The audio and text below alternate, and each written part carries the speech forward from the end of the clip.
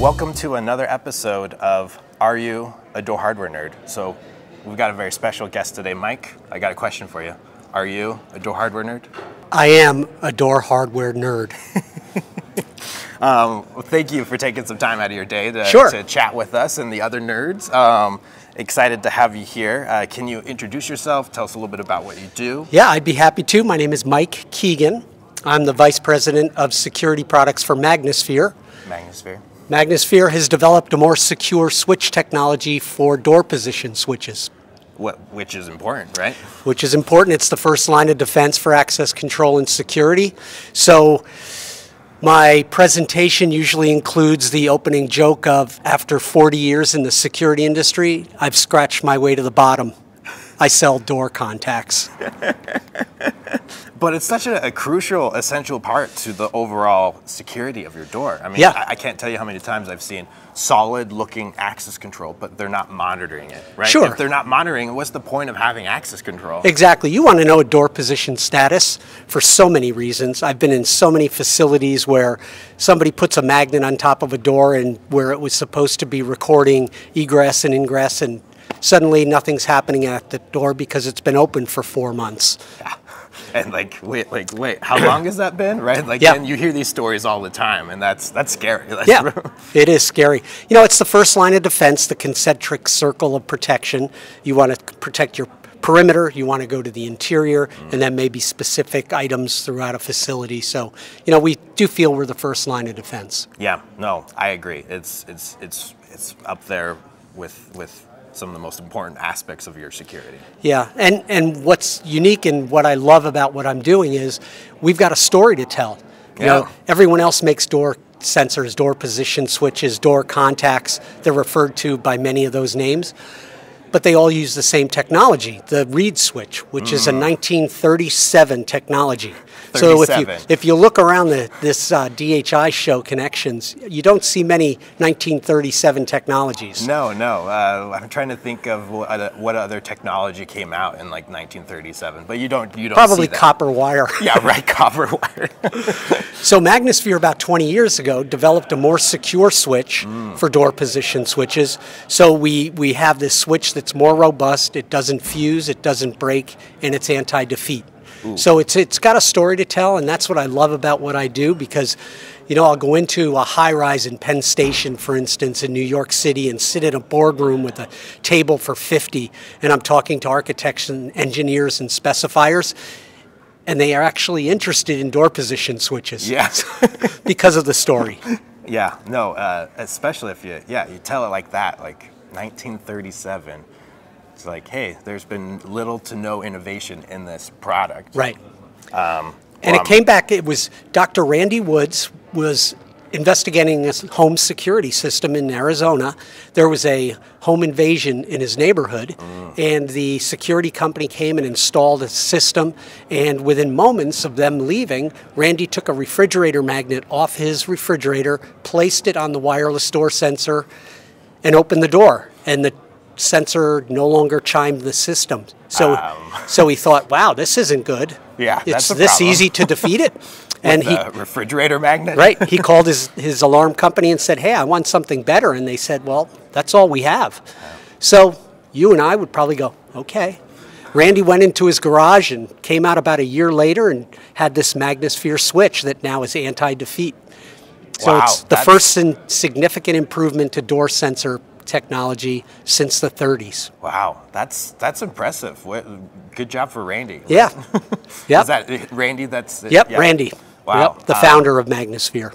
That's uh, that's that's that's remarkable. Yeah, I, I, had no idea. That's a great story. Yeah, a little bit of history. We're learning some stuff today. And some of the things we're rolling out here at, at Connections is um, we have now gone through the process with UL and had our door contacts tested for fire ratings. Ooh, important. So we now have UL 10C ratings on a number of our, our fire uh, door position switches. Yeah. So it's uh, important, you know, and this is something, Benji, that a lot of integrators out there, access control installers, they see a door, they drill their hole, they put their sensor in without any regard for whether or not it's a fire door. Yeah. yeah. And I've learned that you can't add fuel to a fire door. No, no, that's uh, you shouldn't do that. No. That's a, that's a no-no. Yeah, so so that's been a, a, a new uh, product line for us. So trying to spread the word out there to you integrators and professionals. Be aware, fire doors need to have UL10C fire door sensors on them. No, that I, I- yeah, no. You think about it, all the different installs that I've highlighted or posted about or we've talked about on the show. Um, Right. A lot of those times they're fire-rated openings,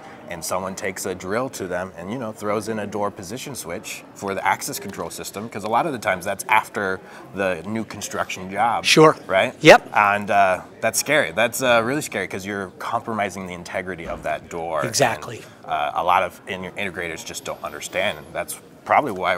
I mean, that's why we're doing the show is to educate. Sure, those are the things that sometimes don't come up while you're being an apprentice or you're working alongside a more seasoned installer. You know, these are important things as you progress through your career to be aware of. Yeah. Okay. What would you say? I, you already spoke a little bit to it, but like, what what would you say are you p- most passionate about in this industry? Gosh, my first job was 1981 as a central station operator monitoring alarm systems for Sonitrol. Okay. Got into sales, got into sales management, general management, owned my own alarm company for 15 years that I built and sold, Oh, and nice. then didn't know what I was going to do the rest of my life. And I met the people from Magnasphere at a trade show.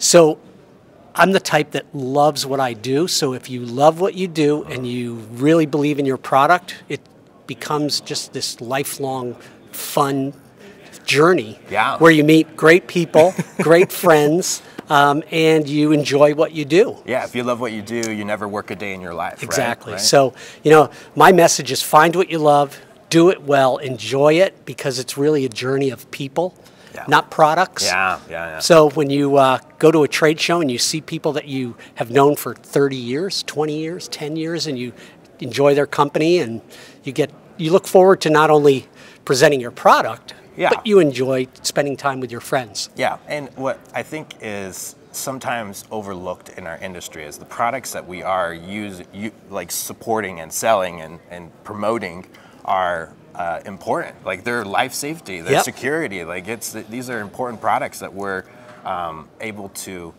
connect our careers to, and that makes such a big difference, especially if you know that you're making a difference out there in the world. Oh yeah, and from personal experience, when you get the call the next day and they say your fire alarm saved my family's life, Wow. You know, those are powerful I just, things. I just got chills. Yeah. That's you know, those, those are the things you look back on and say, "Wow, I really have made an impact." yeah. So Yeah, it, you know, but I, we often get caught up in the rat race of things, right? And Yeah. we lose lose uh, that. And, and another great, I guess, um, position in this industry is to your competitors aren't your enemies. No, no. So get to know your competitors Yeah, because yeah. they're fun too. you can go out and have a beer, enjoy people's uh, company, but you know we're all in this to try to provide a service of life safety Yeah. and security. Um, but it's a, as an industry, not as individuals or individual companies. yeah, so, no. You know, ha- reach out across the aisle, so to speak. Yeah, no, I think that's really important, and um, you know, in the the good old boy age, age of the the hardware and security, there was a lot of uh, competition clashing, and Yeah. I feel like that's you can't do business that way No. anymore. When um, what's the saying? When uh, um, when the, the tides rise, all boats rise with it, right? Like Exactly. it's, it's Yeah. like we're we're in this to help the industry become better overall. Right. Which Exactly. Couldn't agree more. Awesome. How long have you been a door hardware? Do you remember? Was there like a particular uh, moment when you thought like, hmm, You know, it was probably being being in the alarm industry and having product knowledge about you know the, everything from the panels to the hardware to the sensors. Um, when I sold my alarm company in 2009, I had an agreement for six months to stay with the buyer, and I went to a trade show and I walked down the aisles like I normally do, and I said, "Wow, Magnasphere." I've never heard of you guys. What do you do? Yeah. And he showed me their product, and I thought, wow, this is like an industry changer. Yeah. And I think at that point there was there were angels singing, lights, and suddenly I became a door hardware nerd. because ever since, here is what, what I do. I sell door hardware, and I love it. yeah, no, um, that's that's you had the, the, the angel moment. I think we've all been there, right? Like, oh. awesome. Um, what is, and you already spoke a little bit about this, but uh, what is one piece of advice you would give the nerds that are just joining the industry? You know, really dive into the product. Understand what it is that your product does, and you know, salespeople tend to you know tell a good story, but then have to turn to the engineers um, for the real answers. Um, early on, I would say, if you have you know, that's a good question. Let me get the answer for you, and I turn to the engineers. Well, I've found that the the deeper I could dig into the product to really understand um, what's happening below the surface. Yeah. Um, it just made me more more valuable to my customers.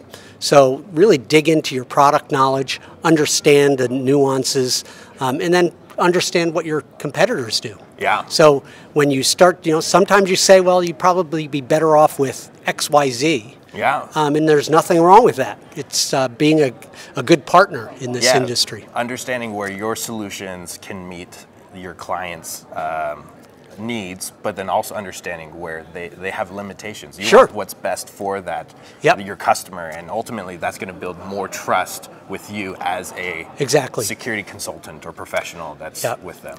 and consultative selling, um, which many of us do. Um, you know, you go out there and you, you teach the architects and specifiers and engineers what your product does. They're not going to go, gee, let me get out my checkbook.